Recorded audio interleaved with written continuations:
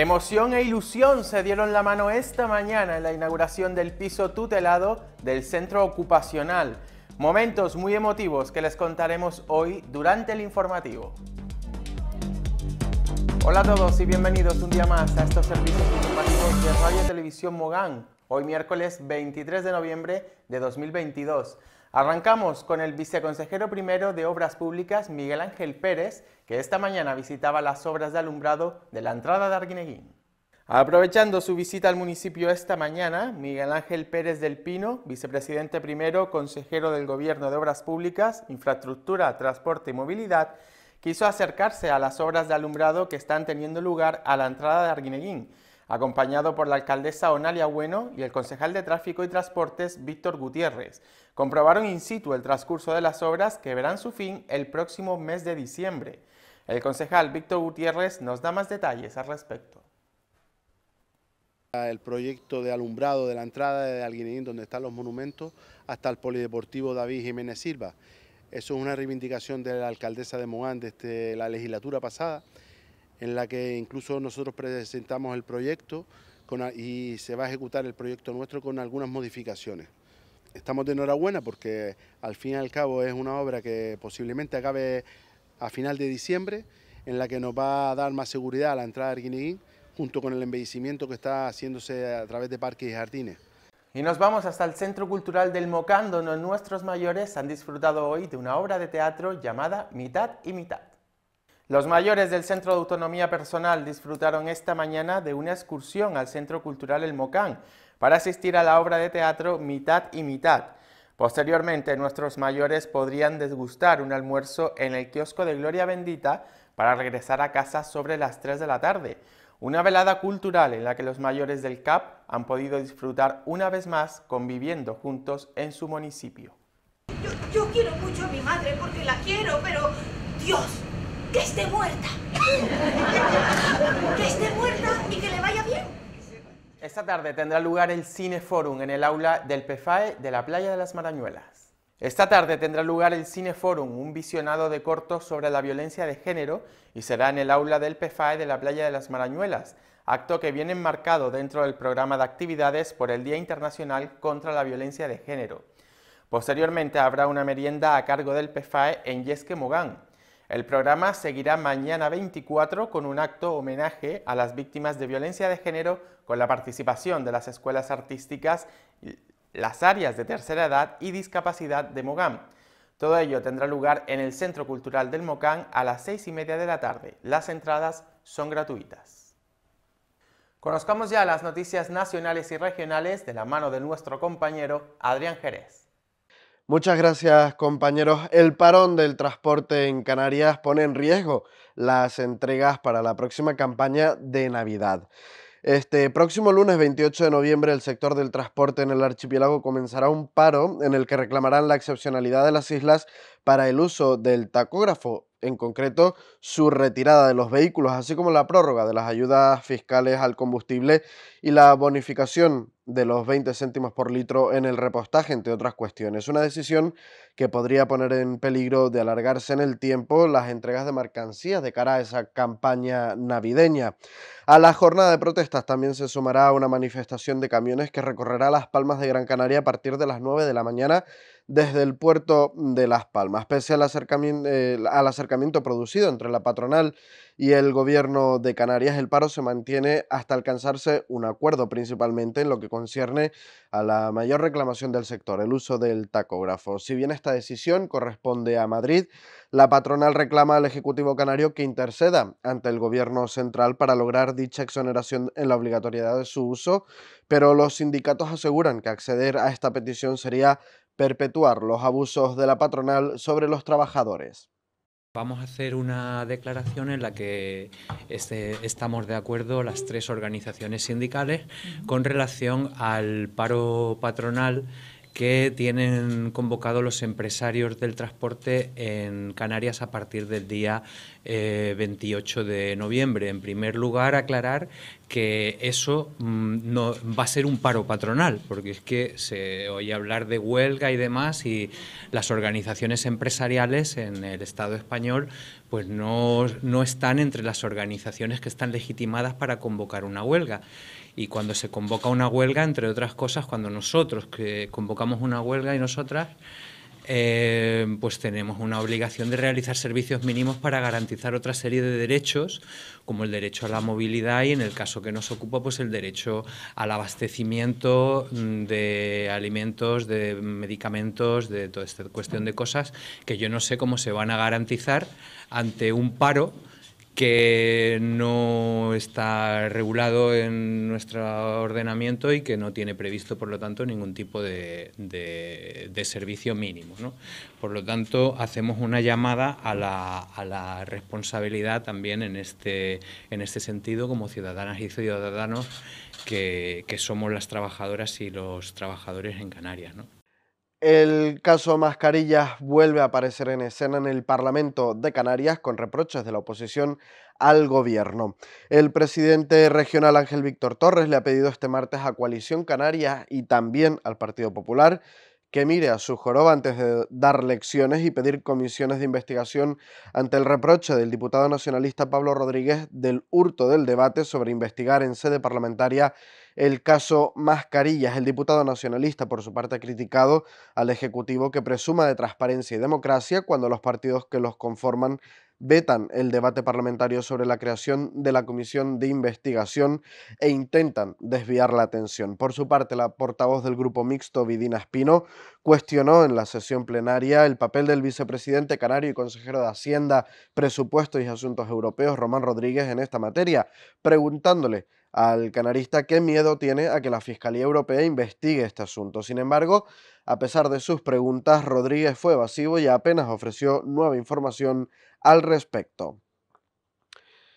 La compañía Ryanair creará 120 nuevos puestos de trabajo en el, archipiélago con la reapertura de nuevas bases tanto en Tenerife Sur como en Lanzarote. El presidente del gobierno, Ángel Víctor Torres, y el CEO de la compañía aérea, Eddie Wilson, comparecieron para anunciar la creación de dos nuevas bases aéreas en Tenerife y Lanzarote que generarán, según dicen, 120 nuevos puestos de trabajo. Igualmente, el CEO confirmó que la apertura de esas bases será efectiva para la temporada de verano que comienza a partir de las últimas semanas de marzo. Además, Torres comentó que la aerolínea irlandesa anunció la voluntad de crear nuevas bases en los otros aeropuertos internacionales del archipiélago, como son Gran Canaria, Fuerteventura y La Palma. En ese sentido, el presidente canario anunció la inversión de la compañía aérea que llevará a cabo al abrir sus nuevas bases, es decir, la inversión que será de 400 millones de euros unas 70 rutas y 6 de ellas que serán nuevas, con un incremento del 10% del servicio que realizan en Canarias. En cuanto a esas nuevas rutas, el presidente regional manifestó que con respecto a Lanzarote serán con Colonia, Noc y París, mientras que para Tenerife serán Burdeos, Eindhoven y Nuremberg. Y habrá también 500 vuelos por semana. Hemos tenido una reunión previa de trabajo con buenos datos, datos positivos para lo que queda del año 2022 y para la temporada alta del año 2023 y junto a estas buenas noticias también el compromiso de Ryanair por la sostenibilidad. Es decir, que del mismo modo que hay que defender la preservación del medio ambiente, del mismo modo hay que ser justo también con los territorios alejados, que son claves en la conectividad por eh, compañías como Ryanair, que hacen desplazamientos dentro de la Unión Europea y por tanto trabajar juntos. Saben que tenemos en una semana y poco más, eh, una convención de islas turísticas y también otros eventos importantísimos en Canarias, junto a lo que tendremos en el mes de diciembre, trabajar de la mano para que solidifiquemos y avancemos en el destino canario como destino turístico de primer nivel en el ámbito mundial.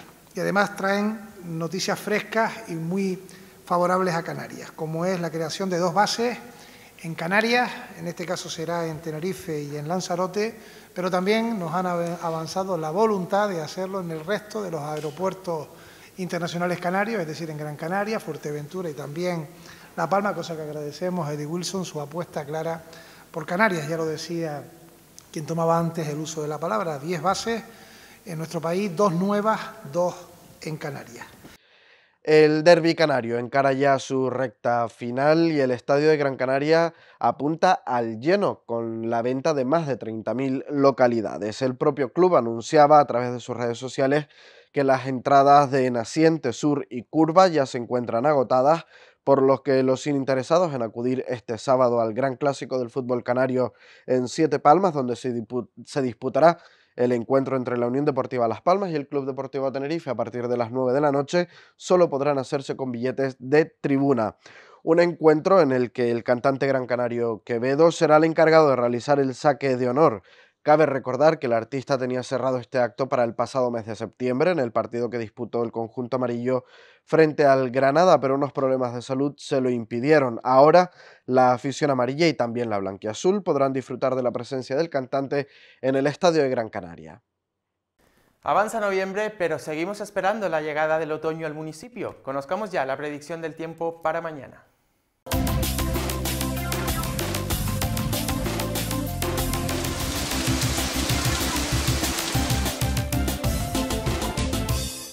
En nuestra comunidad, en Lanzarote y Fuerteventura, intervalos de nubes medias y altas, tendiendo por la tarde a despejado. En el norte de las demás islas, intervalos nubosos con baja probabilidad de alguna lluvia débil ocasional. En el interior de la vertiente suroeste de Tenerife, intervalos de nubosidad de evolución con probable lluvia débil durante las horas centrales. En el resto de zonas, poco nuboso con intervalos ocasionales de nubes altas. Temperaturas en general con pocos cambios, excepto en Lanzarote y Fuerteventura con ligeros descensos de las mínimas, viento del nordeste flojo a moderado. En Gran Canaria intervalos nubosos en el norte, en el resto poco nuboso con algún intervalo ocasional de nubes altas, temperaturas sin cambios o en ligero descenso de las mínimas en la vertiente este, viento del nordeste flojo a moderado. En el municipio de Mogán, cielos nubosos al amanecer hasta mediodía, donde lucirá el sol en cielos completamente despejados por el resto del día. Las temperaturas oscilarán entre los 14 y 25 grados aproximadamente.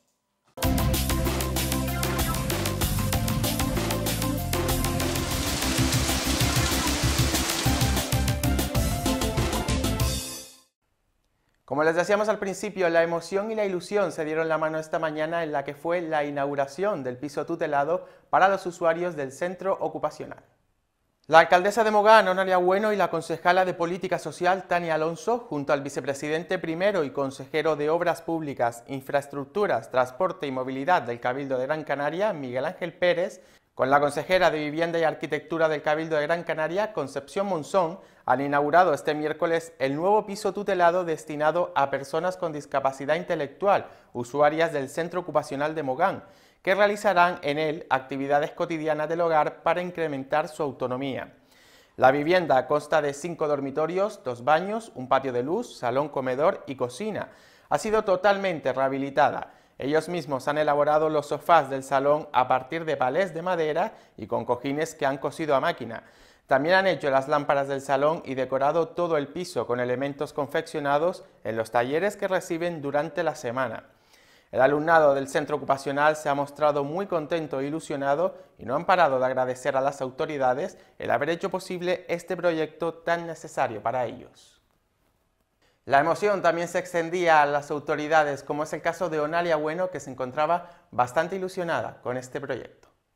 Pues una gran emoción, eh, precisamente porque, bueno, eh, la verdad que han hecho una puesta en escena los compañeros del centro ocupacional en cuanto al recibimiento, cada uno de ellos estaba en su lugar, en la, en la cocina, en el cuarto pileta con la lavadora, en los baños. Es decir, esa propia autonomía que ellos tienen que ir adquiriendo poco a poco con sus limitaciones para que en un futuro ellos prácticamente puedan ser autónomos e independientes. Por tanto, es emocionante ver con qué cariño y con qué entusiasmo nos reciben y nos explican las cosas. Y como le he dicho a ambos consejeros que nos han visitado hoy en, al municipio de Mogán, aquí concretamente a este piso, eh, allá donde va el centro ocupacional de Mogán, eh, a concursos, a cualquier tipo de actividades, siempre dejan el pabellón alto. El nombre de Mogán siempre lo deja muy alto. Así que nosotros agradecerles. ¿Por qué? Porque se trabaja intensamente con ellos, en deporte, en actividades extras, en la convivencia del día a día, en los propios talleres. La decoración propiamente del, piso ha sido elaborada por ellos. Ya les decía a ellos que eh, IKEA tendría que venir aquí para que vieran realmente lo que han hecho y han puesto en valor con material reciclado. Y la verdad que es una fortuna tenerlos aquí. La verdad que sí, trabajar con ellos y con el gran equipo que lidera la compañera Tania. Hablábamos también con Tania Alonso, concejala de Política Social, que también se encontraba muy emocionada. Bueno, la verdad que me siento súper súper contenta por, por otro objetivo cumplido, en este caso, ver las caras de los chicos y las chicas que llevan trabajando meses, eligiendo, seleccionando la decoración, el mobiliario, para mí es un orgullo y estoy feliz, no, lo siguiente si se puede decir así, porque al final esto nos va a ayudar mucho a mejorar el trabajo con los chicos y chicas que acuden al centro ocupacional. El trabajar la autonomía personal y conseguir que en un futuro, de alguna manera, ellos mismos mejoren sus capacidades y poder, cuando se vean en algún momento que, bueno, pues que nos vamos haciendo mayores y podemos ser más autónomos, eso es lo mejor. Y eso es lo que vamos a conseguir trabajando eh, en este piso. Así que súper contenta. Y no podrían faltar los profesionales del centro que tanto han peleado para que este nuevo proyecto haya visto hoy la luz. El día ha sido súper emocionante porque llevamos tiempo preparando el piso.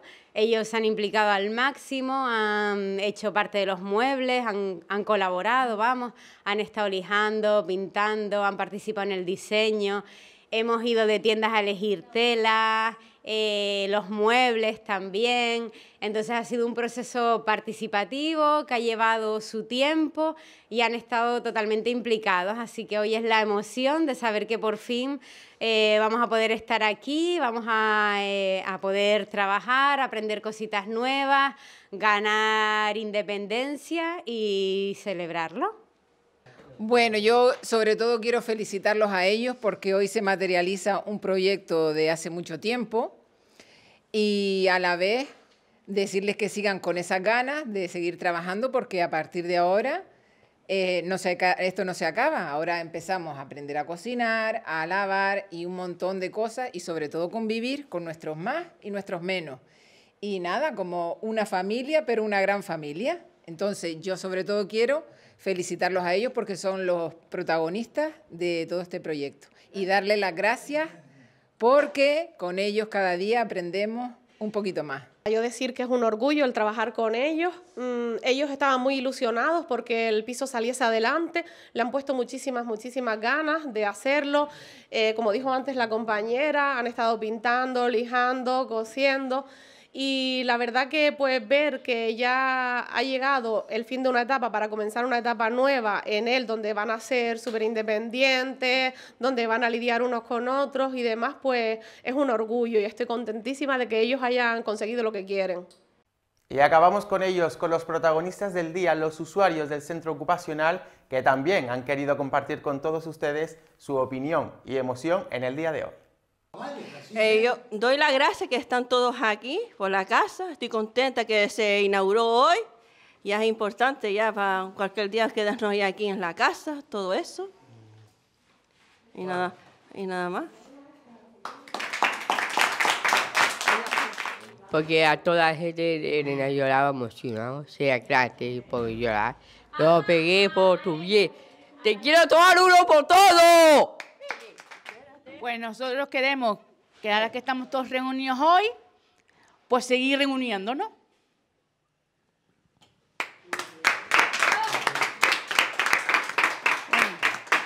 Quería decirles a todos ustedes, ya está, que muchas gracias por lo de hoy. Eh, a punto estoy de llorar porque no aguanto esto.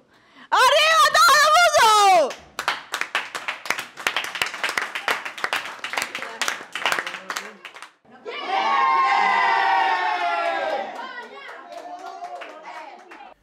Pues esto ha sido todo por hoy. Muchísimas gracias por acompañarnos y esperamos verle en nuevas ediciones de estos servicios informativos. Hasta pronto, sean felices.